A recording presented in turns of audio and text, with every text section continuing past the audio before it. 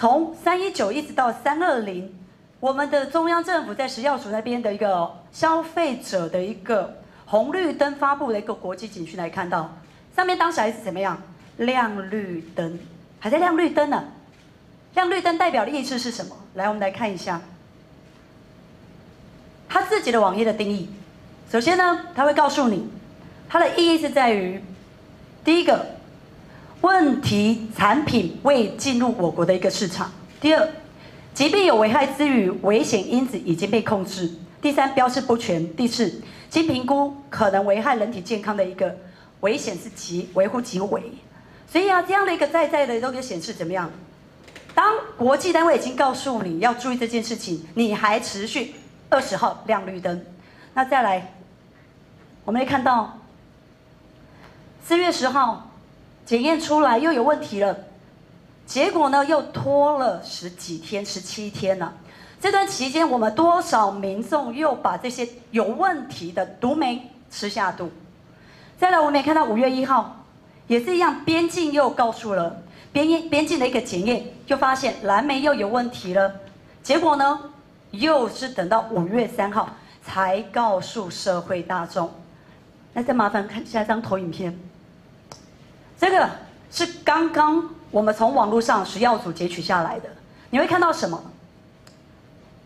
五二零五二二到五一九，哎，五二零这段绿灯不见了，为什么不见了？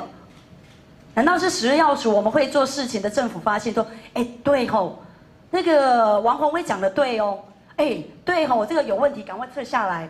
试问，当你政府发现有问题的时候，是直接把这样的一个资料直接删除掉吗？你要不要说明原因呢？然后不见代表什么？哎，原本还有亮绿灯，还会告诉你提醒一下哦，有这件事情，现在直接拿掉，是怎样欲盖弥彰？这个当成没看到吗？这又是另外一个问题哦，来麻烦再下一页。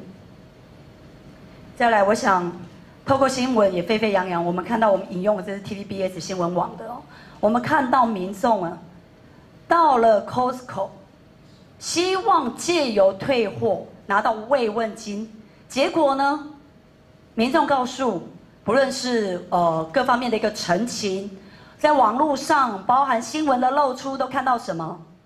哎。原来这慰问金呢，是要包含你要放弃所有上述的一个权利，民事、刑事，你要一切放弃。试问啊，如果我今天误食了这个毒美，潜伏期 CDC 告诉我们要两个月的潜伏期，那我吃下去，结果呢？哎，我们都知道啊，夯不啷当那么多的这样的一个退货相关的一个程序，那么多资料，民众很可能是怎么样？好，我赶快签一签，该填的数字填一填，我要赶快走，你退退款给我，这是常见的一个程序。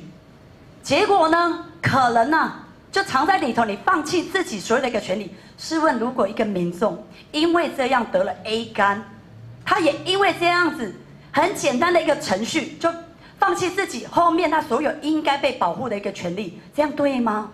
会做事的政府，赶快告诉我们，我们该怎么办？我在这边也都呼吁啊，应该要协助民众。他如果误签了这样子不应该签订的相关资料，应该要协助民众将这些文宣呃这样的一个资料都应该予以撤销才对。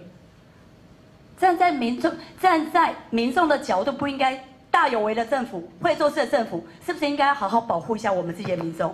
在这一次的毒媒事件当中，呈现了中央政府散漫，反而是靠地方政府来守住我们的食安防线。怎么说？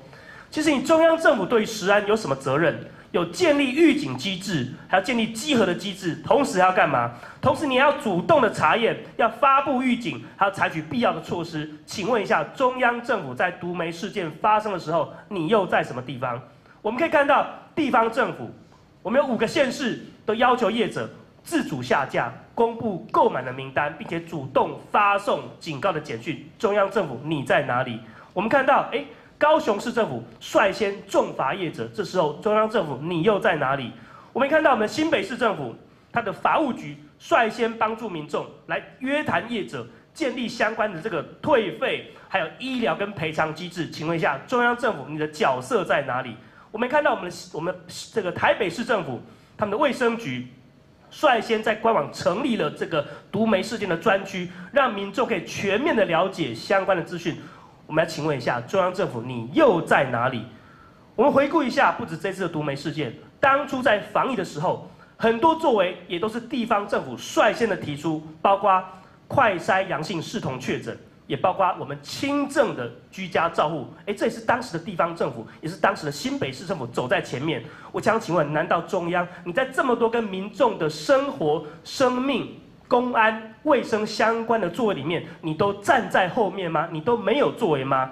我觉得这就是中央政府你搞行政自闭、自断手脚最好的展现。